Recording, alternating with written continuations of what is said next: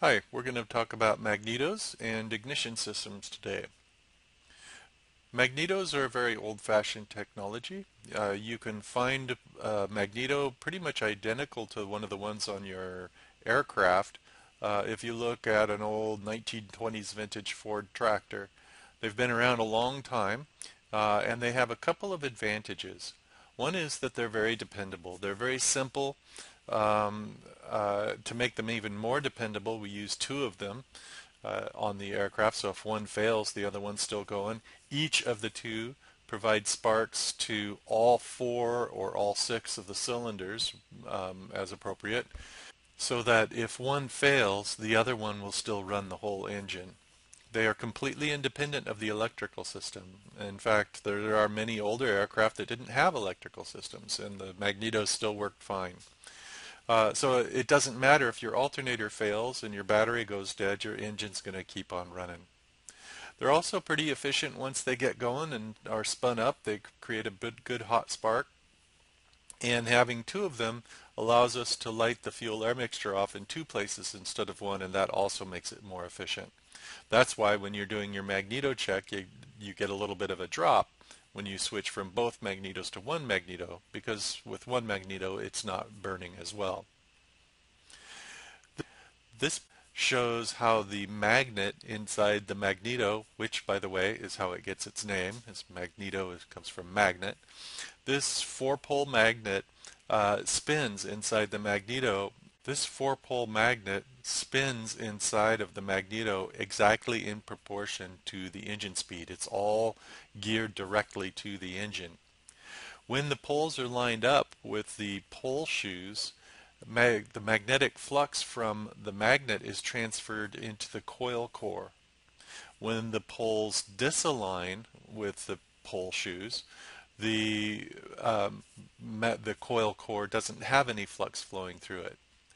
It's this change in flux that we take advantage of. Not so much the strength of the flux, but the change of strength of the flux is what we're after. Uh, uh, by the way, there's a typo in your text. This is shouldn't say fuel register. It should say full register. And so what neutral and full register mean in this case is neutral is where the uh, a magnet is not aligned with the pole shoes and full registers when they're perfectly aligned. And so you can see the, uh, the red curve here represents the strength of the magnetic field in the coil. And the point at which it's changing the fastest is what we're really after. And we can take advantage of that by wrapping a wire around the coil core. And now as the magnetic flux builds and collapses, it induces a small voltage in the primary coil. The primary coil runs through a set of breaker points. They're just a switch that's opened and shut by a little cam that's spinning inside the magneto at the same speed as everything else.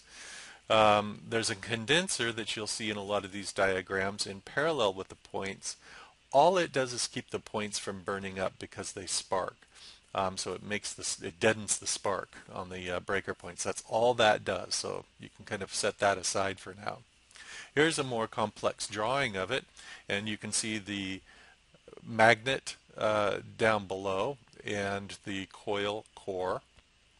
And we've wrapped um, uh, about a couple hundred turns of thick wire around this coil core so as the magnet turns and the flux builds and collapses it causes a current to flow in the primary circuit.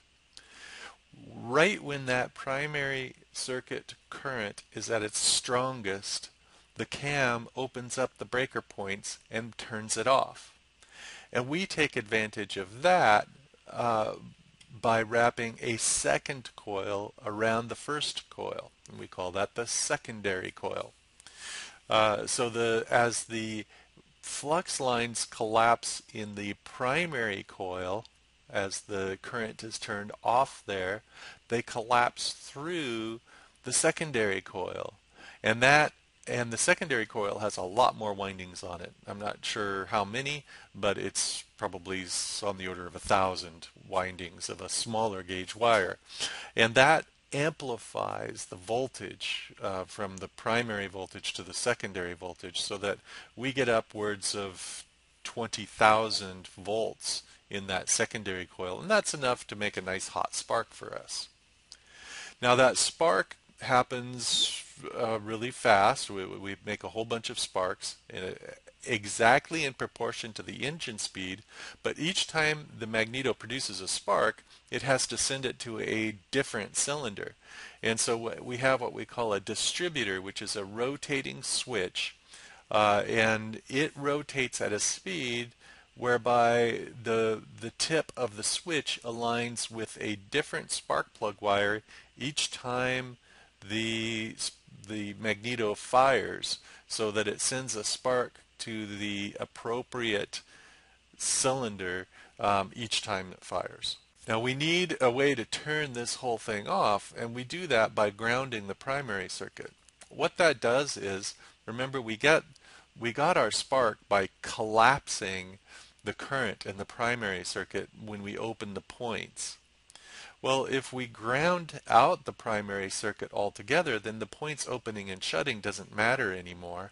Um, and we never get that spark producing collapse of the uh, primary circuit. So this ground here is called the P lead. And uh, uh, if the P lead is connected to ground, then the magneto is off. If you disconnect it or turn the key to an on position, uh, then the primary circuit is no longer grounded on that on with that wire and the magneto is hot.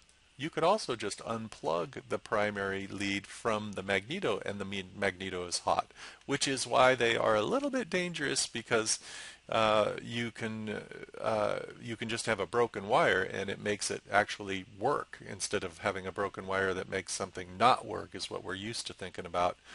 Um, these work by default, or another way of saying that is they are fail safe. They work.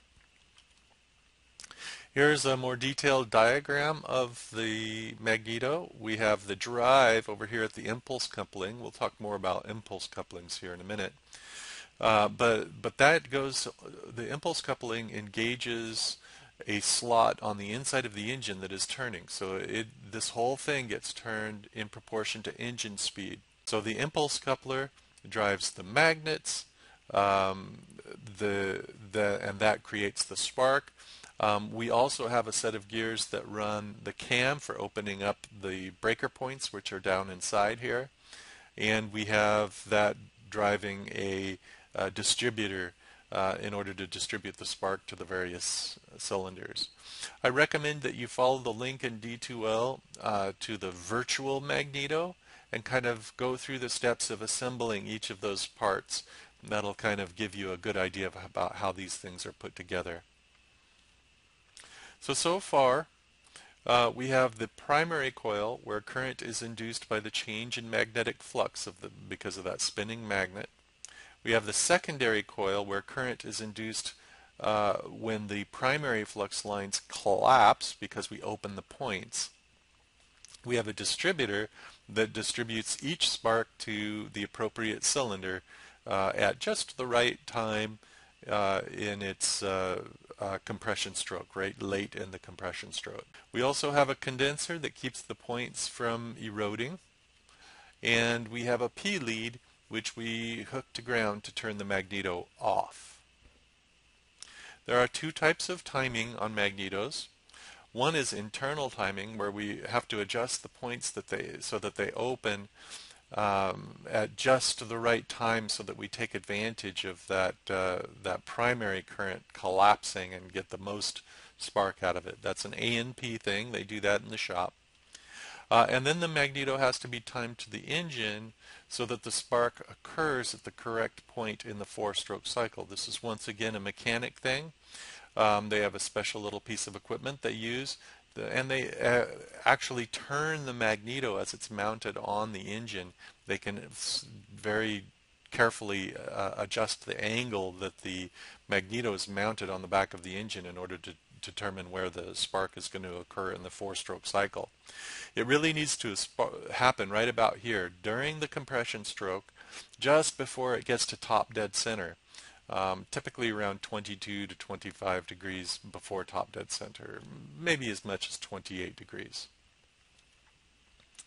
Now, for starting, um, we have a couple of things that we need to change in the way that we produce our spark. First of all, magnetos produce a pretty weak spark at a very low RPM. They really don't start coming on until about 400 RPM. Um, second, we normally, as we just discussed, fire the magneto before top dead center. And if we do this while the engine is turning very slow, like, like it is when we're trying to start it, it might cause the engine to suddenly reverse direction because we're, we're, we're trying to compress that fuel air mixture. If we light it off, it might just push it back the other way. We call that kickback. Um, and so we need a system that both produces a hotter spark and delays the spark until top dead center. The simplest way to do that is the impulse coupler, uh, which all our 152s have and many of the 172s have. Uh, and it's a wind-up device that's mounted between the engine and the magneto.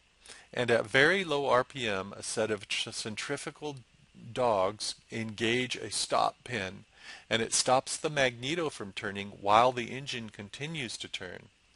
Uh, when it gets wound up to the point where the cylinder is at top dead center, um, it contacts uh, the body and of the uh, impulse coupler and releases the spring and the magneto catches up really fast. And so it accomplishes both things that we need. It delayed the spark to top dead center and because the magneto turns really fast as the spring catches it up, we get a hotter spark. So it does both. Really simple. It doesn't require battery power to do it. Really cool little system. The only real drawback to these is that they will trip even if you're turning the propeller very, very, very slowly. Um, when you get to top dead center, they will trip. And so if you turn the propeller in the normal direction that it turns um, and listen, you'll hear a click. Or if the magnetos are not perfectly timed together, it'll be a click click if you're turning really slow that will cause a nice hot spark and cause the engine to fire. And that's that's why we spend so much time cautioning people about turning the propeller. If you turn the propeller backwards, then the impulse couplers don't engage, and that makes it a little bit less da dangerous. So the impulse coupler um, engages at very low RPM, a set of dogs engage, and winds up a spring. And at about top dead center, it releases, and we get a nice hot spark. Um, these may be installed on one or both mags. Most of the Cessnas in our fleet, I believe, have it on both magnetos. Some older aircraft only put it on one magneto. If that's the case, tradition calls for them to mount it on the left magneto. So remember left magneto for starting. A vibrating starting system is another way to do it. We have this on the Robinson helicopters and some of the newer model uh, 172s. Its uh, brand name is Shower of Sparks system. And it's used on bigger airplanes, uh, bigger engines and airplanes uh, uh, to, uh, as well as some of the smaller ones. Uh, and it uses a vibrator circuit to supply uh, the primary of one of the magnetos with a pulsing DC circuit. So um, we, we you can think of it as supplying an alternate source of primary current because the mag magnet is not spinning fast enough yet. They include a separate set of retarded points, and that's not a judgment thing. It's by retarded we mean that the points are going to open a little bit later uh, in the uh, four-stroke cycle than the regular points, uh, but they're a separate set of points. The way the vibrator works is um, you can think of the electricity coming in here from the battery. Uh, it goes through um, this set of points here and off to the primary coil of the magneto. Um, this spring here is holding the points closed right now in the vibrator. But as soon as the power comes into this system, it also goes down through this coil which forms an electromagnet. And the electromagnet pulls those points open. Well, now the electromagnet is turned off, and so the spring closes the points again. But now the magnet is back or the magnet is back on, so it opens them, closes them, opens them, closes them, except really, really fast. And so you'll hear it um, uh, as a buzz, uh, probably about a uh, 50 or 60 cycle per second buzz. It, it, goes really, really fast. And the result is we have pulsing uh, DC coming out and going to the primary circuit of the of one of the magnetos. And once again, since we're using uh, one of the magnetos for the starting, uh, we use typically the left magneto on this one. Here's what the circuit looks like. I used a different one than your book. Your book um, provides a, a circuit that is probably more accurate than this, but kind of confusing to look at. And, and so let's walk through this real quick here. Um, we have an ignition switch um, that is housed within this dashed rectangle here. Um, so when you're turning the key, you're actually uh, opening and closing a set of five switches if you have this type of system. Two of the switches are connected to our uh, P leads um, to turn the magnetos off. So in the off position, uh, we have grounded both the left and the right magneto. When we move to the start position, a number of things happen. First of all, note that the right magneto is still turned off. Okay, we don't have a starting system on that, so we're just going to leave that off during the start. Um, however, we did uh, close the starter relay switch, and that energizes the starter, and the starter motor starts turning the engine. So that's where that big red uh, wire is going up at the top here, is where we're running the starter motor to turn the engine.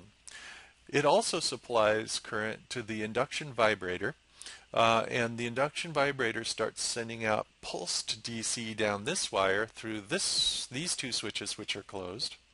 Um, and that goes into the uh, points in the uh, left magneto.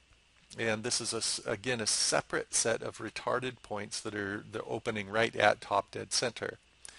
And when those are points are open, it provides that pulsed DC through this wire into the primary circuit, and that provides a pulse of sparks, a, a series of sparks out to the appropriate spark plug through the distributor out to the appropriate spark plug. So you don't get just one spark um, in each cylinder, you get a whole series of them, and that's why they call it a shower of sparks system. And then when you release the key, all those switches open. Now neither of the magnetos is grounded, and which means that they are both on, and the uh, the normal points are what control now the left magneto as well as the right magneto and the aircraft just runs normally from there. So that's magnetos. Um, in this day and age, we're starting to see some electronic ignition systems in uh, general aviation aircraft as well. We've had these on uh, cars since the 70s, and they're getting more and more uh, advanced. Um, these have uh, some advantages and some disadvantage. Uh, the big disadvantage is that it does use battery power. So instead of using a spinning magnet to get our electricity, we use power from a battery. Uh, in order to, now obviously the downside of that is if your electrical system fails and you lose your battery power, then your engine's going to quit. So, so, some systems, um, or some uh, installations I should say, uh, they only do it on one of the two magnetos, and the other one they just leave a regular magneto. So if the battery dies, you've still got one ignition system still going. Uh, other systems rely on a battery backup. So if your electrical system fails, there's a separate battery that will supply power to the ignition system long enough for you to get to a nearby airport. But you are going to be in for a diversion if that happens. So that's the big difference is they, they, they just use battery power instead of a rotating magnet. That's the big difference on electronic ignition systems. There's other sim there's lots of things that are very similar. They still use a set of points to, uh, to and, a, and a set of coils to amplify the voltage. They still need distributors to direct the voltage to the correct cylinder. Um, they still use the same kind of spark plugs, although they may be gapped slightly different. But they are they can be made more efficient because rather than having a fixed uh, point at which they fire each compression stroke, um, the, it can adjust that advance on demand. So if the engine is under a heavier load, they can retard the, the spark slightly, or if you're not under heavy load, they can advance it more and get more fuel efficiency. Um, and it can provide a start a late hot spark on starting. Uh, so there are some things we can do with it. What it results in is increased fuel efficiency, and it's pretty significant. Uh, it'll take a an engine that burns typically six or seven gallons an hour and take it all the way down below five. So it's it is significant. There are many different systems out there, um, and so it doesn't really do us much good to go over any one specific system here uh, because you're going to need to learn whatever system is in the aircraft you crawl into. Uh, as you do that, uh, just remember the five things that every pilot needs to know about every system. What is it? How does it work? So you already know what it is. I just told you that. That's really all you need to know. How does it work? How does it fail? So what are its failure modes? How do I know it's failed and what do I do next? And, and that's going to vary a little bit from one electronic ignition to another. Now whether you have electronic ignition or magneto ignition, you end up having to put the spark through a spark plug. And all a spark plug does is provide an air gap for electricity to jump over. Um, tip, uh, what we need to do is have a, a gap that is wide enough that about 20,000 volts will jump over it. Typically, though, the wider the gap, the higher the voltage. The, the more the voltage will go up before it jumps that gap. Um, so you'll get a hotter spark. But if you go too far uh, and and get too wide of a gap, then the, the spark becomes unreliable. It doesn't fire every time. Uh, and so there's a very specific gap that the spark plug has to be gapped to in order for it to work reliably. And, and that, once again, gets checked by our our uh, our mechanic. Although you as pilots are um, licensed to install spark plugs and and so if you're going to do that it pays to know how to check that gap before you put them on. Here are some figures out of your book uh, about spark plugs. Uh, the this little tray here is real common. Uh, most mechanics have one of these in their toolbox and it's a way of keeping the spark plugs organized so that you know which cylinders they came out of and, and we use them for diagnosing. Um, there are a bunch of ways spark plugs can fail, and most of you have probably had this happen to you already, although you may not have understood exactly what was going on. Um, the carbon uh, that is produced when you burn a hydrocarbon fuel like gasoline can build up inside the engine and on the spark plug and that carbon conducts electricity so if it builds up too much rather than having an air gap for the spark to jump over you just have carbon for it to flow through and, and then it doesn't produce a spark. The same thing is true with lead. Um, if we have a the, the lead will actually condense and build up inside uh, and that will short out the spark plug so that it, uh, rather than having an air gap again it just flows through the lead the uh, electrodes can actually erode. You can see here how uh, the metal has has been torn away by the electrons. That hot spark burned that metal away, and sometimes the the gap can be too wide. Here are some pictures that I took of a real spark plug.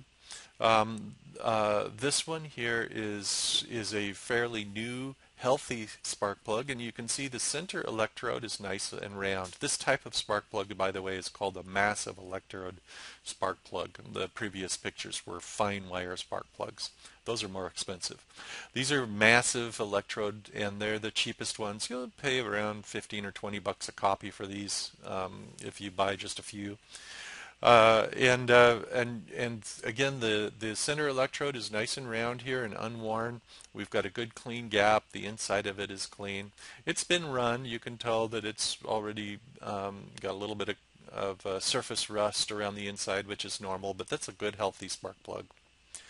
This one um, has been subject to some, perhaps some oil um, uh, in the the rings may be leaking some oil into the cylinder. Um, there's some carbon buildup there. And note that the center electrode is sort of football shaped.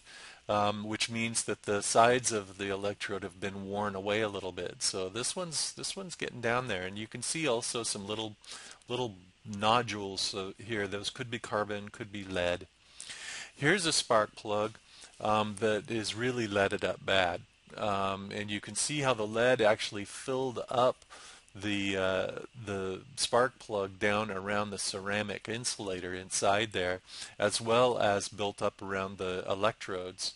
And uh, and when lead builds up like that way, the the electricity will just flow through the lead rather than jumping the gap, and then you you'll it won't fire. You'll experience this as a pilot as a rough running engine when you do your magneto check. So when you switch from both to one, whichever magneto uh, is is connected to one of these fouled up plugs will run a little bit rough. Um, sometimes, uh, if it's just a little bit fouled, you can bring the RPM up, maybe lean it a little bit, get the inside of that uh, combustion chamber hot, uh, and it'll melt off the carbon deposit or the, the lead deposit. And then when you recheck the magneto, you'll be good to go. Uh, and that's acceptable if you if you can clear it up like that uh, then you get to go flying uh, don't push it though um, it is possible to overheat these engines on the ground especially when they're misfiring um, uh, various you know uh, pre-ignition and detonation can happen when plugs are are fouled like this so um, so don't sit there for 10 minutes trying to free up the spark plug. Um, if if you can't get it done in in one or two attempts, you need to taxi back and have a mechanic come out and pull the plugs and and replace them. It doesn't take very long. You've probably lost your slot if you're trying to get a lesson done, uh, but it's not too big of a deal to to to pull these out. They can be cleaned with a little uh, bead blaster machine. Uh, that's kind of a mechanic thing though. I think it is allowed under uh, preventive maintenance, but I, I recommend that you leave that to an A&P mechanic. It's super critical that you get every last little piece of bead blasting material out of there because if one of those comes loose inside the combustion chamber, um, it's going to really wreak havoc. Uh, um, so that we'll leave that to the professionals. So that's it on ignition systems uh, this time around. Uh, they they are really technically kind of an electrical system. So if you haven't had airframe uh, systems yet, uh, some of this might have been a little bit confusing to them, to you. Stick to the basics though. What is it and how does it work? Um, you don't have to get down into the electronics of it usually. Uh, but how does it fail? Um, how do I know it's failed and what do I do next? Those are the important questions as with any system. We'll see you next time.